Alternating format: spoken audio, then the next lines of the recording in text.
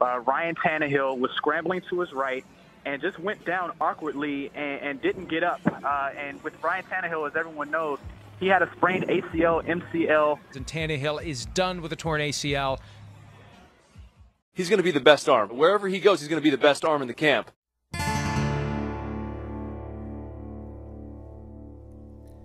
I can hear what you're thinking. All your doubts and fear.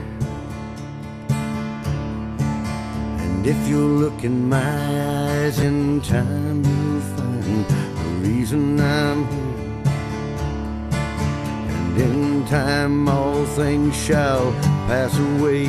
In time, you may come back someday to live once more or die once more.